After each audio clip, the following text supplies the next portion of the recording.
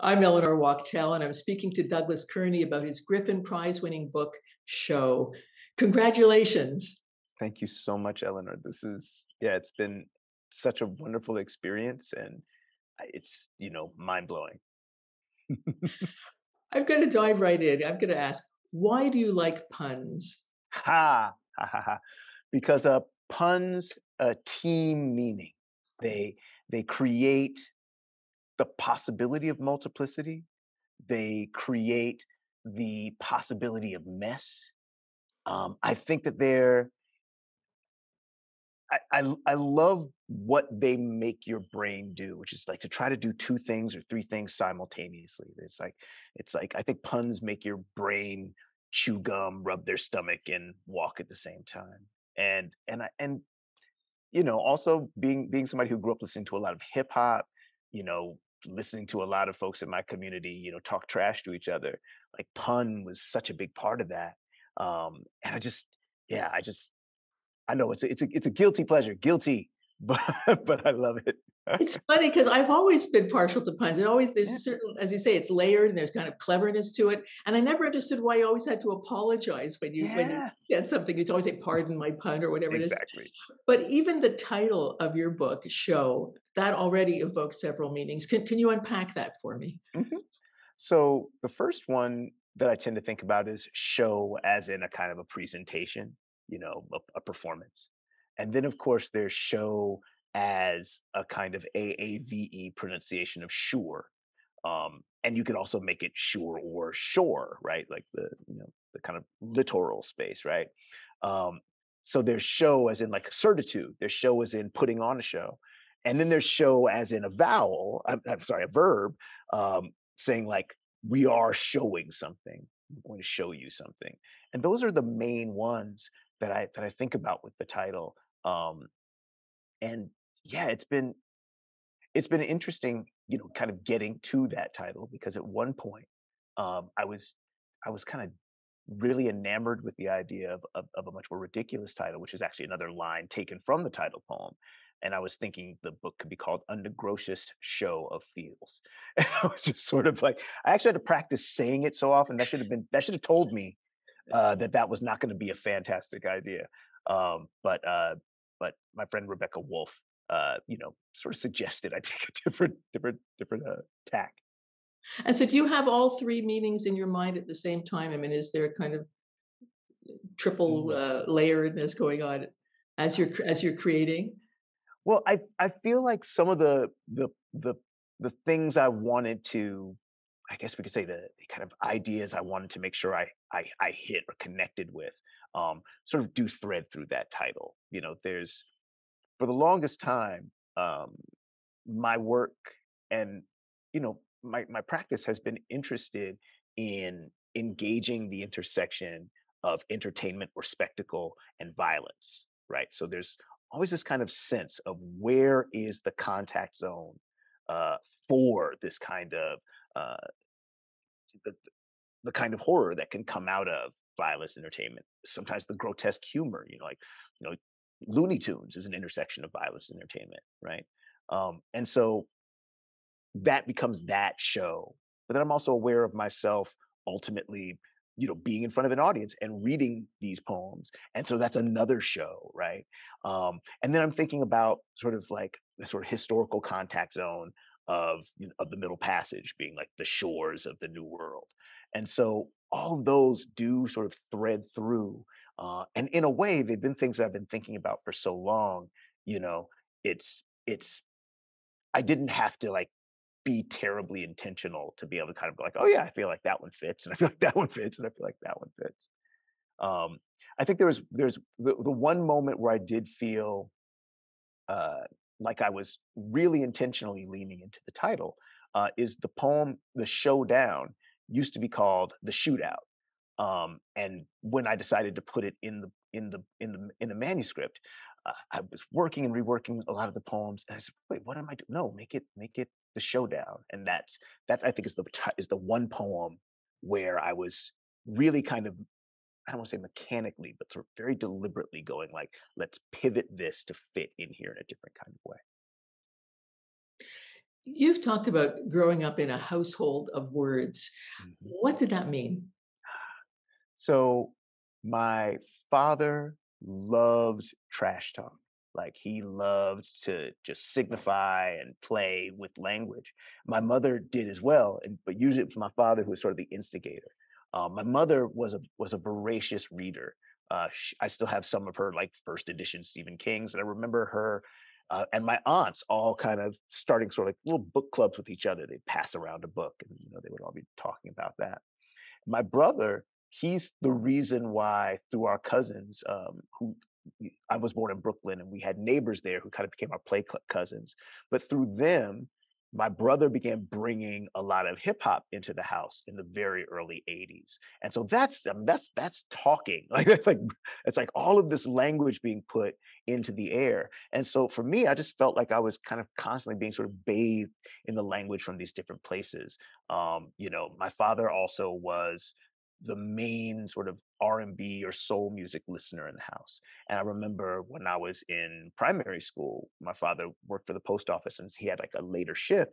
And so he picked me up and we would come home and he would play music by the Coasters or the Drifters, you know, or just like he had this uh this kind of compilation album from the Atlantic catalog. And he would just play music and in his car he had a Harry Belafonte eight track that just stayed in there the entire time. And so, you know, all of those sounds, all of those expressions that were really tied oftentimes to sort of vernacular tradition were just constantly around me. Because you talked about not just soaking in the language, but the, the kinds of music that you say your dad liked uh, listening to, all the stuff that he picked up from growing growing up in, in Raleigh, North Carolina, and then living in New York, and and and it's just this is all kind of swirling around. Did, did your father sing or make music, or is it just? Oh, it was... Yeah, my dad could sing. He could sing, and uh, yeah, he had a. I feel like he had a kind of a, a he he had a good tenor. Like his voice, his speaking voice felt closer to kind of baritone, but he could do, like he could do some of those tenor high end notes without going into his head tone, you know. Um, but every now and then he would, and he almost always did it when he was trying to be a little comedic. Um, but I kind of feel like one of the things I learned from my dad when he would sing is he would sing the texture or timbre of the vocalist. So like if you know if it's somebody who had a, a, deep rolling voice, it was a little bit growly, he would he would do that. Or like if it was somebody with a kind of a high pitched sort of nasally voice, you know, um, he would do that, right? And so I feel like, and I hadn't really thought about this that way before, but I think that that became the way I understood listening to music was was to kind of get it inside of you and then sort of embody it. Um, and that's been something that I've done my entire life, you know, as a result. And, and I and I think from what uh, from the bits that I've seen incorporated to some of your own performance. Absolutely, absolutely you have a, poem in your latest collection called The Drifters After School, and it seems to be a tribute to both your father, who, who died uh, five years ago, mm-hmm. and Benny King, who, who passed away in, in 2015. Can you tell me about it, about that poem? Yeah. So, you know, one of the groups that we would listen to a lot was the Drifters. And, you know, this would have been me in first grade, second grade, I think, those two years primarily, were when my father, maybe kindergarten too um, when my father was uh, working a different shift, and so he would pick me up from school, and I would go home with him. Um, you know, later I learned, you know, as I as I got a little bit older, I, I learned that my father, uh, you know, had struggled with alcohol, and you know, he was, you know, you know what you call a, a working a working alcoholic for a really long uh, time. Fun, I think functional, functional, functional, functional alcoholic. Functional alcoholic. Yeah. yeah, a functional alcoholic. Um, and so early and so so you know as i began to sort of look back on memories from that time you know i began to try to figure out like you know how many times were when we were you know in the room having a great time singing like how many times was he was he tipsy you know or or you know full on? And uh and there's something in that space where i feel like in that poem I'm grappling with my uh resentment of his alcoholism while at the same time recognizing that you know he was not violent you know he he he kept his job you know but it was just like there'd be this stranger in the house sometimes this guy that you know i didn't i didn't like who would be in the house um and so there's that part of me looking back trying to go like ooh like to dig into and be like oh what are these memories? What are these what are these memories really about? While at the same time recognizing that you know at those times i was i was having the the greatest time you know just spending time with my dad.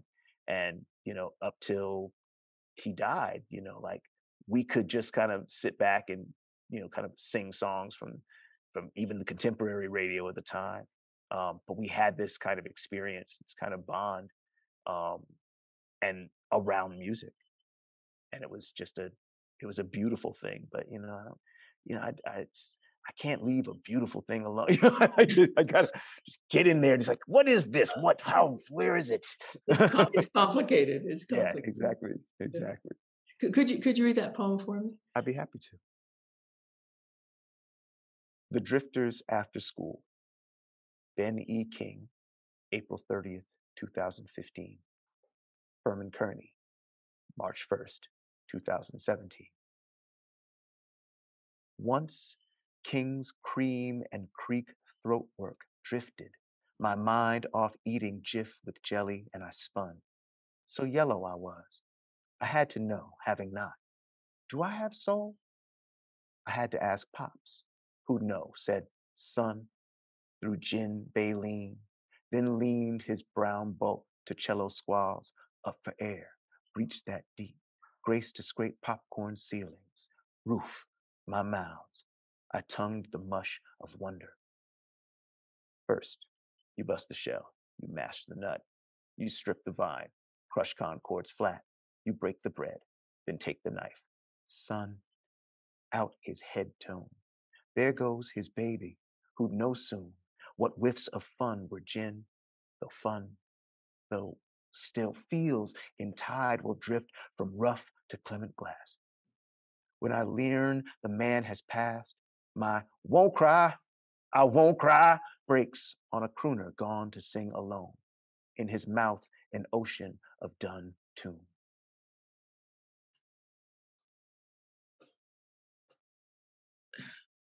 I don't know. I need a minute. it's just, uh, I, I, think it's the I won't cry. I mean, I, when I think of the Drifters, I think of you know Stand by Me and There Goes yeah. My Baby. But then there's also you know Save the Last Dance for Me, and there's some, you know.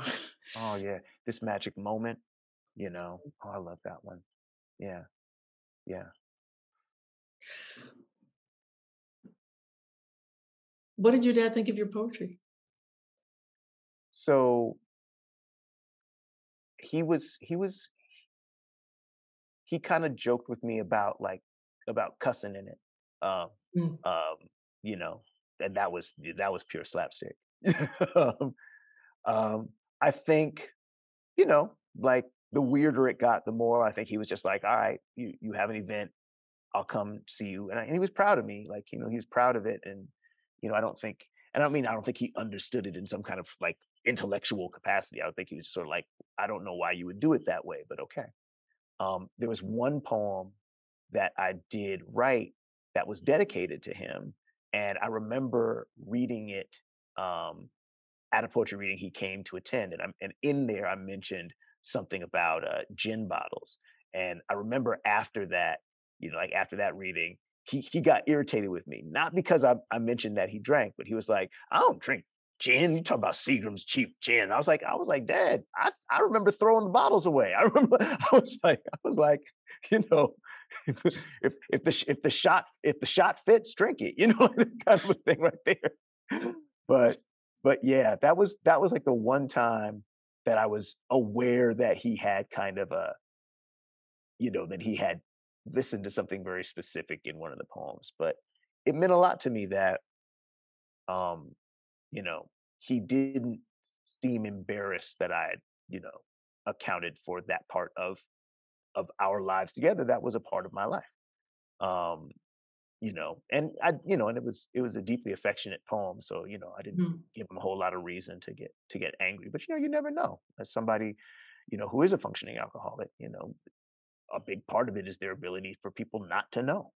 Um, and so, so yeah, I think he just uh, my you know my parents just kind of figured that whatever I did, I would take make sure I was taking care of like whatever responsibilities I had. I think they they they encouraged me to do a lot of stuff um, that has been a serious part of my you know write writing and performance practice.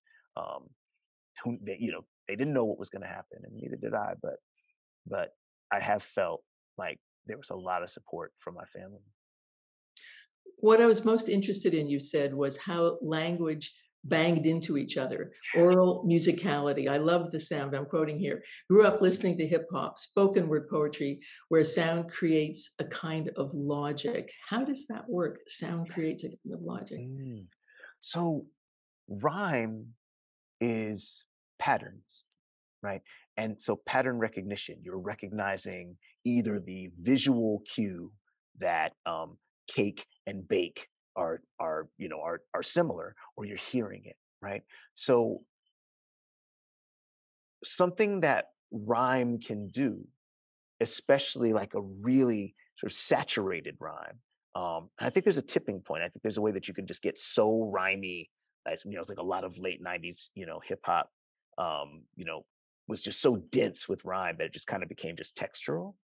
Um but there's a space between that extremity um, and the absence of rhyme, where an idea that might not be 100% elegantly or accurately uh, communicated, because they rhyme, you you you kind of go, oh, okay, I, I see. You make the you make a connection.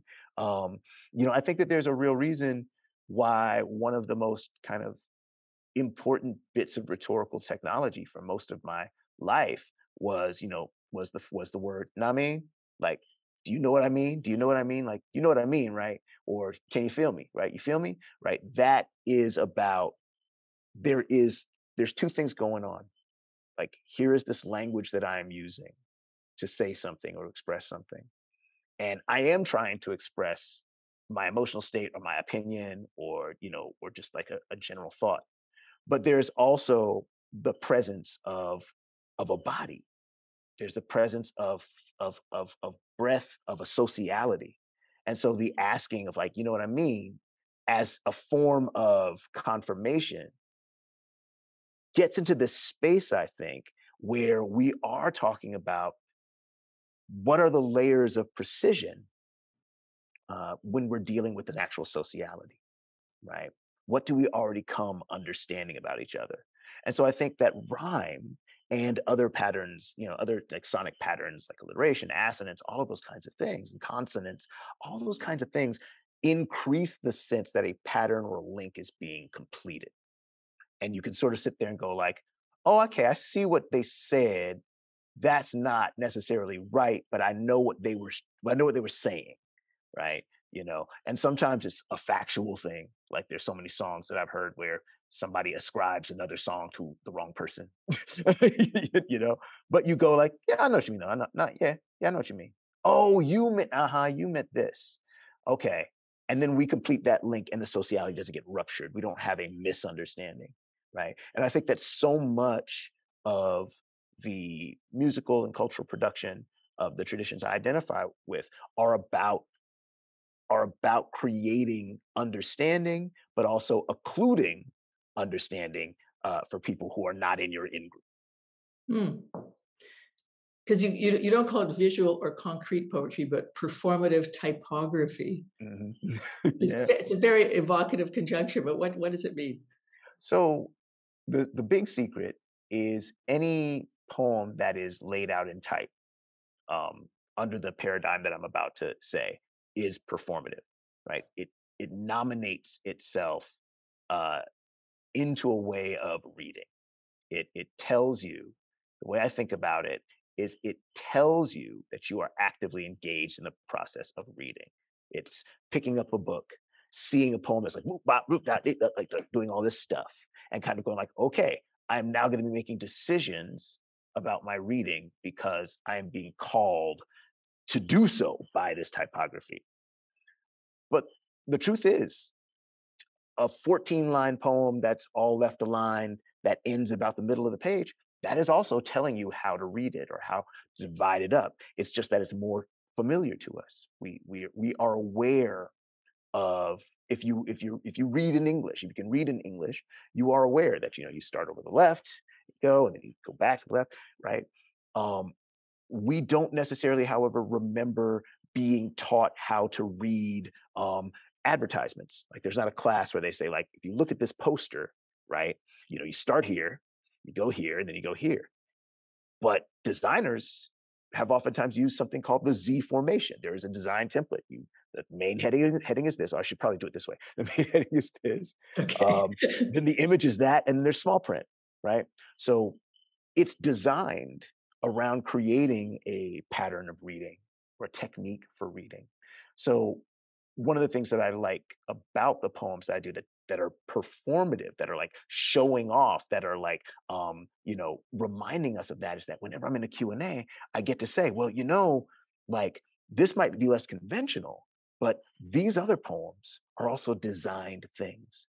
And that perhaps the difference between one of my poems that's you know all over the place and a poem that's that's that's more composed into a into a compact space is that you are counting on the writer to match the conventions of that literacy right so like i'm supposed to start at the top i'm not supposed to start in the middle i'm supposed to start at the top and get to the end the fact is we can do whatever we want we can do whatever we want. But, but you, you, you, you, in fact, kind of encourage that because you say it, it, it, was a way. This hybrid of poetry and graphic design was a way for you to turn the page into stage. Now I know mm-hmm. there, there's the rhyme, but it's also yep. a truth. I mean, it's yep. it's it's true. You know, it's a, it's a space like that, and and and it's interesting because some some critics have pointed out that this book Sho has a bit more conventional yep. design. It's easier to navigate for the reader. It does line up on the left hand side and quite a lot and so on and but with you i don't know whether it's visual or there's just pleasure in sounds i do feel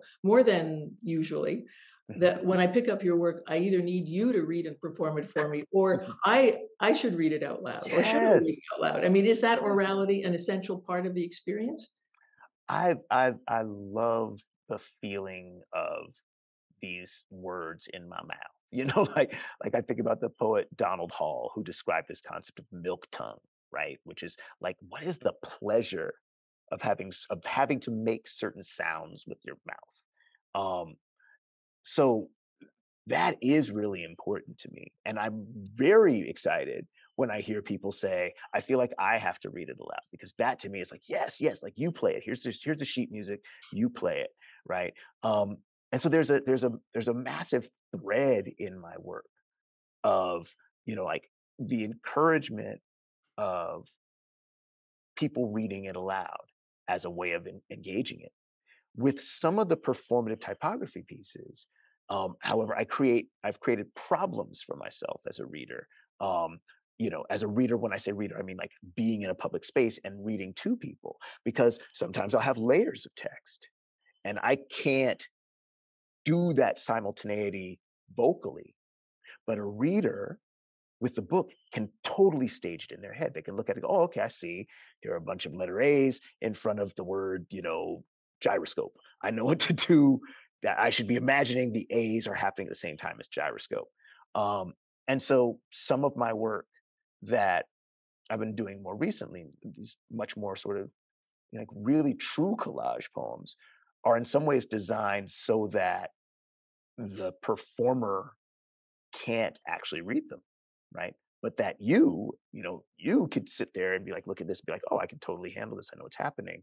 Um, you know, maybe after a couple of seconds. but that, but that what you would create in your in your head, the sounds you would associate with multiple textures, different typefaces, cuts, and things like that would probably be more accurate or more meaningful than if I got up there and tried to figure out how to modulate my voice for 17 different typefaces and and different sizes. I think at some point the level of kind of sonic overload um, begins to distract from the poem as a as a thing that's read aloud. Um, Although I think if anyone could do it, you could. Why, thank you. and I've heard you sing too. Uh, yeah, you, use, use what you got. you were born in Brooklyn and, and grew up in Altadena, California, in the foothills of the San Gabriel Mountains and northeast of downtown Los Angeles. Mm-hmm. How do you think that environment shaped you? Mm. Well, there's a there's a mechanical way that I think about a lot that I've had cause to think about a lot. Um, and I'm going to borrow a term and not apply it precisely as as she would from a fellow um, Altadenan, Pasadenan, um, Octavia Butler, the, the late the late writer. And the term that she had was radio imagination. And the way I think about how growing up in Altadena in the foothills really impacted my work in very concrete ways is that radio stations bounce weird um, when you're in sort of like the foothills. So, you know, and so like we could be driving and say we're listening to an R&B station. We cross one street and then all of a sudden that station starts to share share the signal with I don't know, a news station, right? So there's R&B happening while somebody's talking about traffic heading into downtown and then you completely fall out of the R&B song and now it's just traffic but then maybe you turn right and then the sound kind of comes in and it's raza radio right you know you're listening to you know to, to, to you know you're listening to rancheras or or something like that and and like and like that was constantly happening like that was just con- that was just driving up to grandmother's house um and it was to me the oral equivalent to like driving through a neighborhood that might be largely Armenian. And so you see the signs in in in that in that Cyrillic. Uh, and but then you cross another street, and then you're in a part of town that is, you know, you know, a lot of like South American immigrants, right? And like now you see Spanish in a lot of places. Um, so so that visually, or driving through Los Angeles on the freeway, those times where you could go fast, and seeing the billboards change as you went. It's this constant sort of overlapping of languages and from that you build some i would build some kind of coherent whole and so the idea of switching kind of mid sentence into a different register or a different voice or a different timbre is a is is kind of natively how I listened to the radio when I was growing up, um, and also those those those that range of communities. Um, you know, I don't feel like uh, like a lot of places like like a lot of places in Southern California like people mix it up to a certain extent, but you know, you're in your car, you're in, you're moving around like that. It's not gonna be like Manhattan, where the fact that we're all here, we all at the same places that we're trying to go or overlap, you're kind of in that sort of presence. But I do feel that I was exposed to many different kinds of music. I was exposed to a lot of economic diversity where I grew up.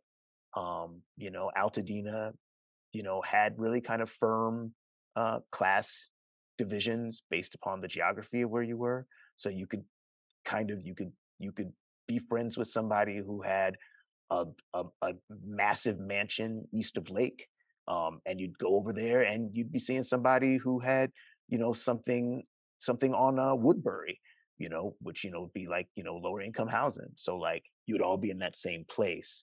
Um, you all go to the same schools. You're all doing that sort of stuff. I do feel like that has created a lot of the multiplicity that exists in my work. In a review of your book, the poet Victoria Chang, who, who was a finalist for the Griffin last year, mm-hmm, uh, mm-hmm. she says that Kearney's body of work is very much about play with language, yet that somehow feels like it diminishes the political aspects of his poems and his body of work. Perhaps play itself in Kearney's work is a political act, a mm-hmm. confrontation. What do you mm-hmm. think? Is she onto something? I think so, and, I, and Victoria is brilliant. Um, um, yeah, I think that the play at one level is around, um, you know, is around this practice of signifying, which is for a long time been a rhetorical technique that allows, um, you know, practitioners, you know, often, you know, uh, members of the African diaspora, um, the ability to speak publicly in ways that are subversive um, either because you are undermining the person you're talking to or you are hiding how much knowledge you have about something else. Um, but the target, the target audience who's supposed to understand you um, is not. Let me let me let me do that a different way. The person you're trying to criticize perhaps doesn't get it. They mm-hmm. don't know that you're criticizing. They don't know that you're not telling them the truth, um, strictly speaking. And so that becomes this this profoundly political act and and it's sometimes and and you know it happens in history you know it becomes a life or death act one of the greatest practitioners of this uh, is is a hero of mine Harryette Mullen um, you know she had a run of books that were really committed to a kind of a, a, a really saturated exploration of signify and pun uh, multiple meanings and and I learned so much from her. Um, the three books that kind of epitomize this have all been collected into a book called Recyclopedia. Um, but originally there was Trimmings, there was Sperm Kit, and there was Muse and Drudge. And when I got these books in, I think probably 2000, maybe 2001, I was like, oh my gosh, this is everything I want to do. And you can make poetry. This is poetry. Um, but it was so much of what I loved about, um, you know, about pun, about wordplay was in that space. Um, it's funny. It's funny. Um, I had a student when I taught at Cal Arts um, who uh, whose whose name uh, is Shoghig Halajian, I believe, and so that's another show, and and and and and and that show, uh, uh, their their uh, their thesis was talking about this concept that they were exploring called the party sphere, right?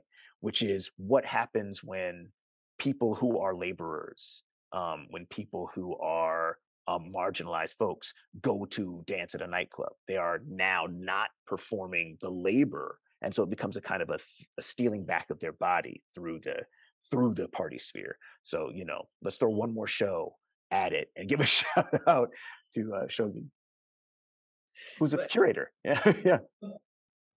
Just going back to uh, near where we began, you were talking about entertainment and violence. Mm-hmm. So, is that also a way in which you, I don't know, uh, secrete or not secrete, but create another layer in terms of the way mm-hmm. you deliver your political, the political mm-hmm. import of, of what you're engaging with? Or are there specific things that you want to, to deal with? Mm, wow.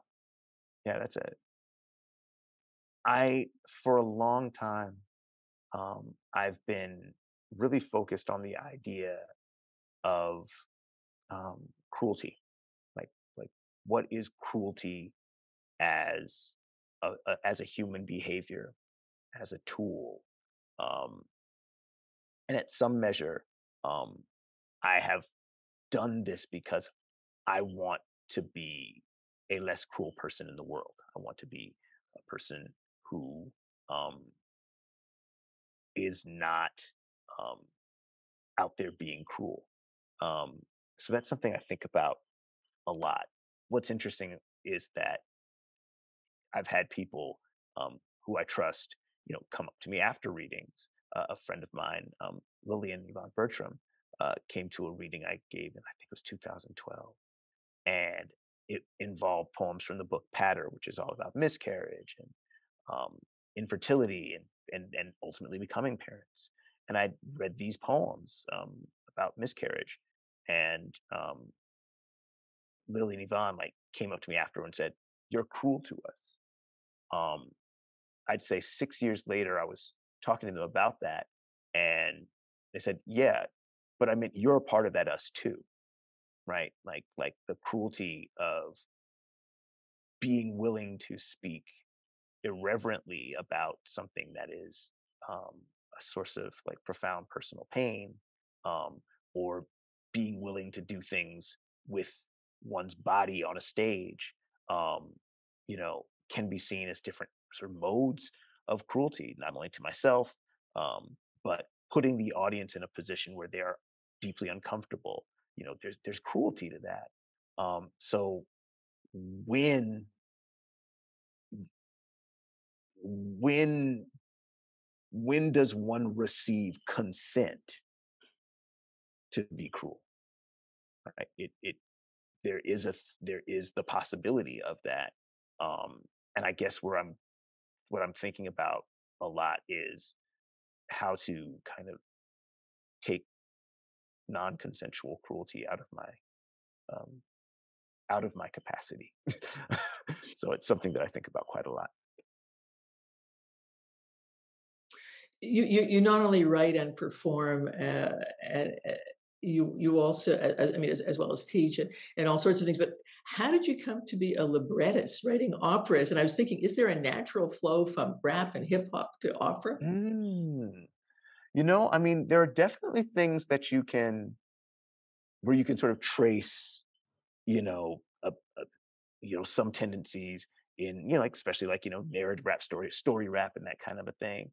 Um, you know, and then I think about what you know, Paul Muldoon, you know, Griffin Trustee, uh, you know, said once in an interview that a, that a that a song is a poem with holes, right?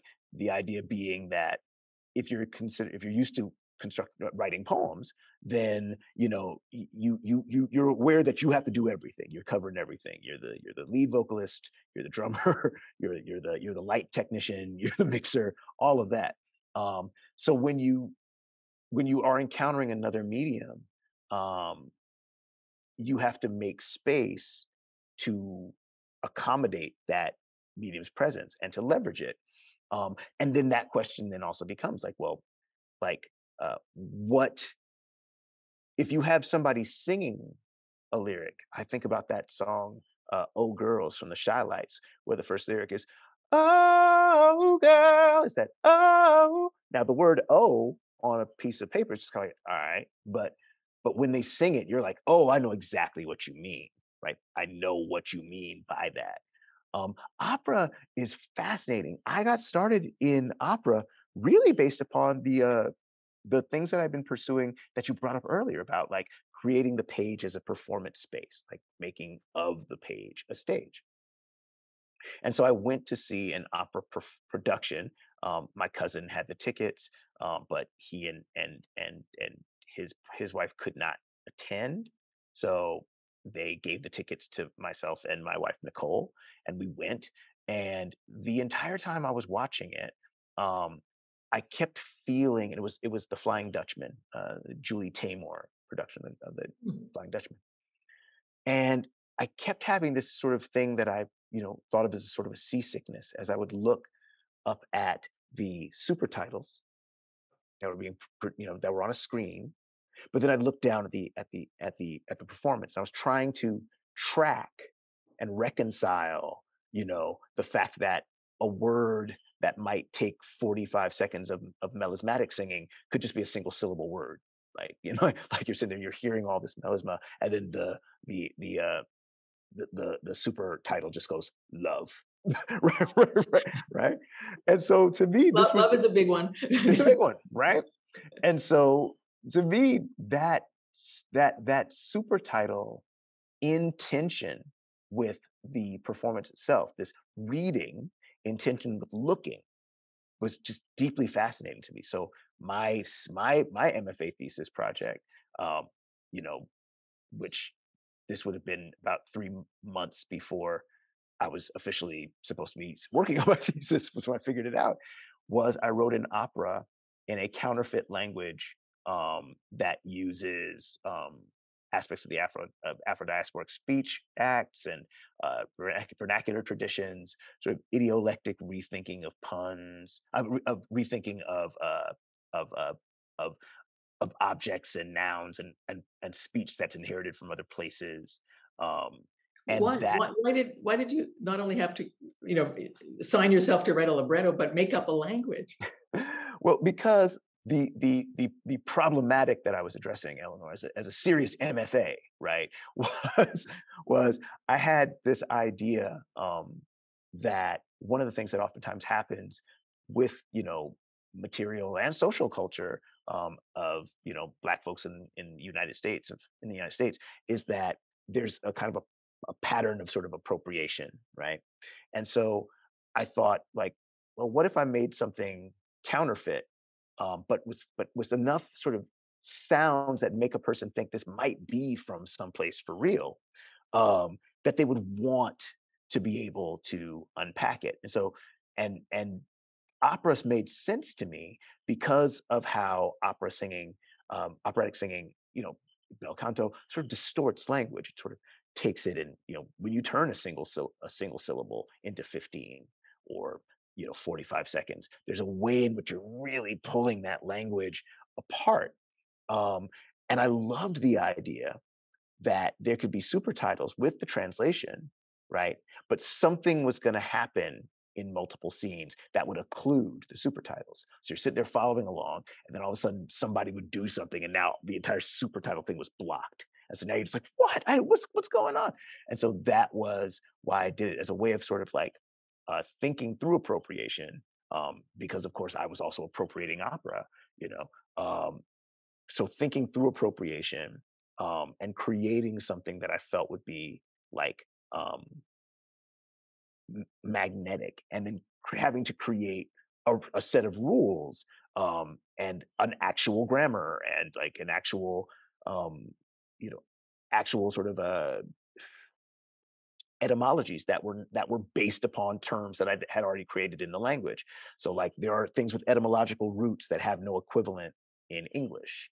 Um, you know, there are things that uh, you know, I think the hardest thing to figure out was probably prepositions.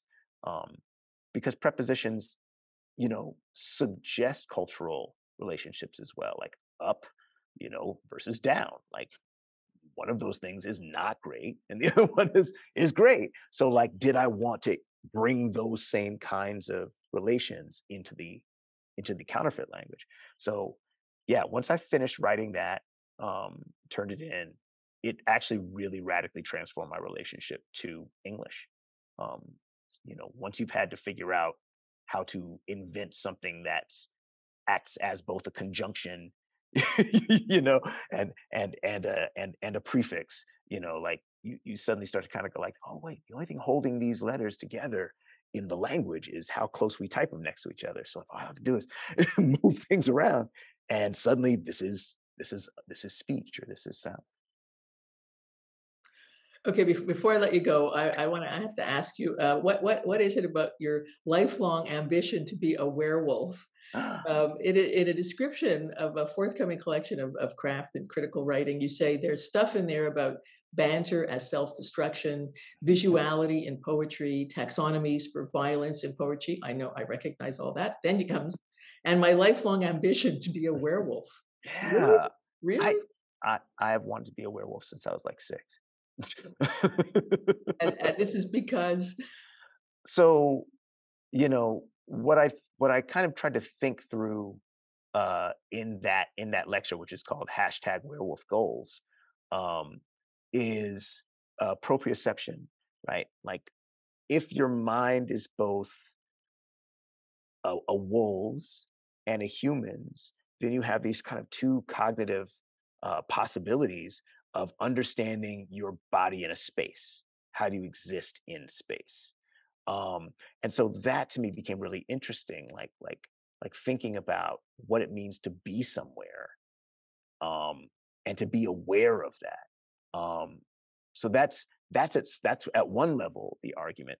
The other the, the the desire the other part of it is like you know like there would be a a release if a person uh could would stop being a person for for, for a little while, but it would be a kind of release that um, isn't necessarily about someone else telling you that you're not a that you're not a human or not a person, but being able to be something different um, than that, um, and yet to still retain some level of consciousness. I know that in most of the times we we we talk about the werewolf and they have that, you know, that's that's like this very tragic place to be. You know, it's a mm-hmm. terrible place. It's a curse. Um, but I always thought, well, that's because they didn't prepare. Like if you prepared, like you know, inheriting a lot of money could be a curse if you don't know how to use money, right? So, so I was just like, I would sit, and there's a scene from an American Werewolf in London uh, where the actor uh, uh, David Naughton is is like transforming to this werewolf, and his hand does the well, he's transforming to the wolf. There's there's another thing I have to say. You are not a werewolf only when you turn into the shaggy form. Your ability to turn to the shaggy form makes you a werewolf, right? So, and I just remember seeing that the special effect they used was to kind of stretch his hands into something like paws and it looked like it really really hurt so i was like well i just have to i just have to stretch i just have to keep stretching so that if that happens i'm like I'm ready for it and, I, and, and, it won't hurt as much. And then I'll probably be in less agony and therefore be able to be in more control of my brain while I am in whatever lupine form. Um, so far, no success. Although I do have a friend who has said, You're already a werewolf. And I'm like, I'm not talking metaphorically. I don't, nah, nah, nah. I'm, I need, I need claws, fur, and the ability to jump really high, like a better sense of smell. That's what I want. Um, but, you know, she maintains I'm already there. So maybe, maybe the werewolf was always in me. well, this ability to, to inhabit two spaces, it actually uh, uh, anticipates uh, something else I was going to ask you about because you, you put you ask a question that I wanted to put to you. You say mm. in, in, all of my compositions, you say uh, poetry, libretti, essays, visual texts. I'm trying to hold contradictions without seeming to resolve it. How do we live in that indeterminate space and I, I was going to say, how would you answer that? But I think you've already almost answered that because that capacity to, to be in that indeterminate space is, is, is, is practically your comfort zone. Yeah, yeah. It's messy. it's great to have the chance to talk to you. Congratulations again. Thank you. Thank you so much, Elena. Thank you.